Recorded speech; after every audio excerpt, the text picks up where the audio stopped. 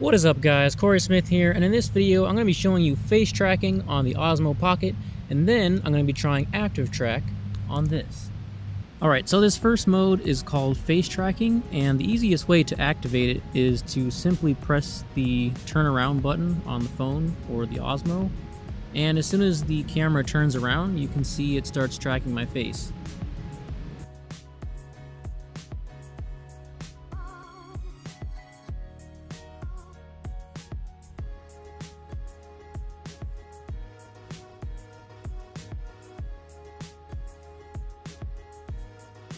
Now if face tracking loses track of you, all you have to do is draw a box over your face using your phone, or if it's not connected to your phone, you can simply double tap on the DJI Osmo screen, just double tap on your face and it will start tracking again.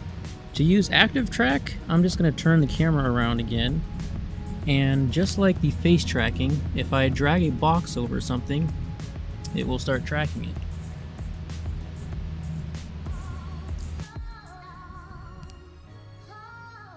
Now, if you want to track something that's farther away, all you have to do is just draw a bigger box.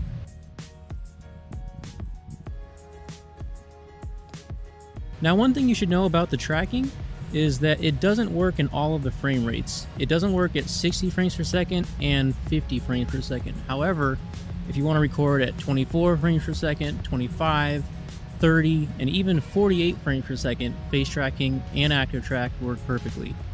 Alright, so now I'm going to go for the big test here. You can see I still have my helicopter over here, and I'm going to attempt to draw a box around the helicopter, take off, and start flying, and we'll see if it starts tracking. Most likely it probably will lose track. I'm going to start off slow and see how it goes from there.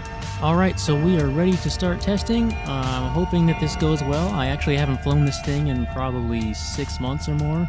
So first I'm going to draw a box around the helicopter and start the motors up.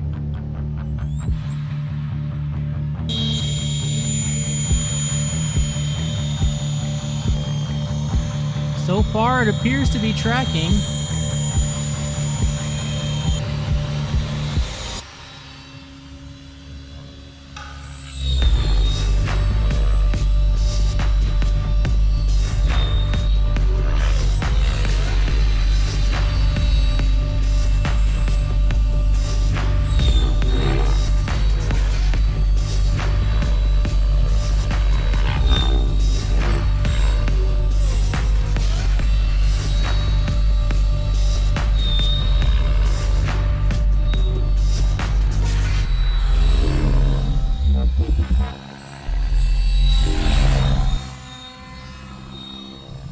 Alright guys, so it seems like the Osmo actually did pretty well considering what it is and what it's for. What the heck is that?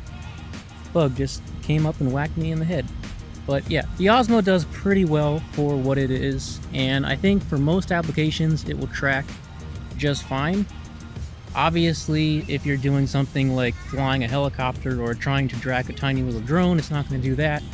But for general tracking purposes, it works really well and it's a really cool feature to try using. So that's it for this video.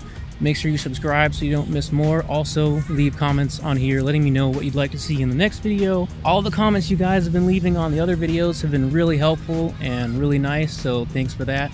And I will see you in the next one.